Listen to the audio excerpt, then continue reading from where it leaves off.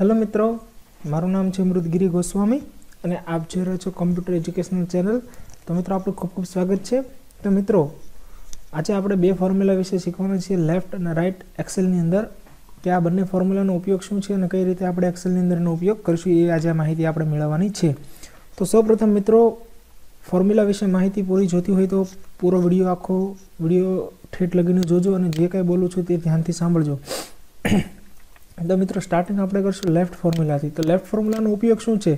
કે જ્યારે તમે કોઈ ફોર્મ્યુલાનો કોઈ કેરેક્ટર કોઈ સેન્ટેન્સ લખેલું હોય, એમાંથી તમારે જ્યારે વાક્યો લેફ્ટ સાઈડથી તમારે ધારો કે મારે પા છથી સાત કેરેક્ટર જોઈએ છે, વધારે જોતા નથી, ત્યારે તમે લેફ્ટ ફોર્મ્યુલાનો ઉપયોગ કરી શકો છો. એવી જ રીતે એ જ સેન્ટેન્સ અથવા અન્ય કોઈ સેન્ટેન્સની અંદર તમારે બીજા પાછળથી રાઈટ સાઈડથી કોઈ શબ્દો કે અક્ષરો જોતા હોય, ત્યારે તમે એનો ઉપયોગ કરતા હોવ છો તો બેઝિકલી આજે આપણે લેફ્ટ ફોર્મ્યુલા વિશે માહિતી મેળવીશું ઇક્વલ ટુ ઉપયોગ કરવાનો છે લેફ્ટ લખવાનું છે બ્રેકેટ સ્ટાર્ટ કરવાનું છે, ત્યારબાદ ટેક્સ્ટ અહીં તમને લખેલું છે ટેક્સ્ટ તો તમારે ટેક્સ્ટ ઉપર ક્લિક કરવાનું છે. પછી તમારે બ્રેકેટ અલ્પવિરામ કરવાનું છે અને પછી નંબર ઓફ કેરેક્ટર કેટલા કેરેક્ટર તમારે પહેલાં લેફ્ટ સાઈડથી કટ કરીને ડિસ્પ્લે કરાવવા છે? તો માની લો કે એક, બે, ત્રણ સ્પેસ સ્પેસ જ્યાં આવશે એને પણ એક કેરેક્ટર તરીકે જ ગણવાનું આવશે. ચાર, પાંચ, છ, સાત ને આઠ. તો હું અહીંયા એટ લખું છું અને બ્રેકેટ ઓવર કરીને એન્ટર આપી દઉં છું. તમે જોઈ શકો છો, વેલકમ. આખા સેન્ટેન્સમાંથી અહીં વેલકમ આપણને અલગથી લેફ્ટ સાઈડથી કટિંગ કરીને આપ્યું. એવી જ રીતે રાઈટ સાઈડનું છે ઇક્વલ ટુ કરવાનું છે આરઆઈ જીએચટી લખવાનું છે. ત્યારબાદ સેમ એઝ આ જ સ્ટ્રિંગ સ્ટ્રિંગને હું સિલેક્ટ કરું છું. ત્યારબાદ અલ્પવિરામ. અને મારે લાસ્ટથી થર્ટીન કેરેક્ટર જોઈએ છે એન્ટર આપું છું. તો તમે જોઈ શકો છો તેર અક્ષર, એક, બે, ત્રણ, ચાર, પાંચ, છ, સાત, આઠ, નવ, દસ, અગિયાર, બાર અને તેર કેરેક્ટર આપણે ડિસ્પ્લે કરાવ્યા. જ્યારે રાઈટ સાઈડથી કરવું હોય તો ઇક્વલ ટુ રાઈટ સાઈડ કરવાનું છે.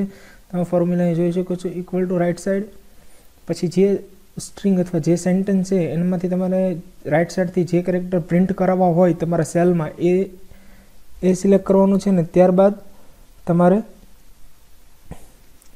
અહીં તમારે તેર કેરેક્ટર તો તેર તેર તેર કેરેક્ટર આપણે કરવાના છે. બરાબર છે?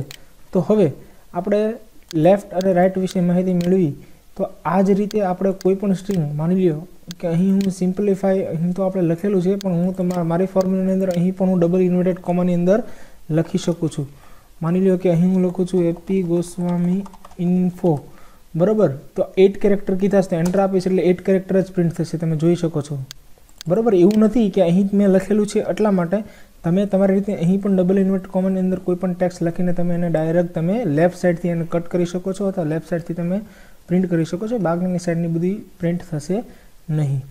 બરાબર? તો આ એક સિમ્પલ હતું. અહીં હું નાઇન કરીશ તો એક કેરેક્ટર વધી જશે. તમે જોઈ શકો છો. વધી ગયું? તો આ સિમ્પલ ફોર્મ્યુલાથી લેફ્ટ અને રાઇટ તો બસ મિત્રો, આજના વિડીયોમાં એટલું જ. નેક્સ્ટ વિડીયોમાં આપણે બીજી ફોર્મ્યુલા સાથે મળશું. જોતા રહો લાઇક કરતા રહો સબસ્ક્રાઇબ કરતા રહો. Thank you thank you very much next day bye bye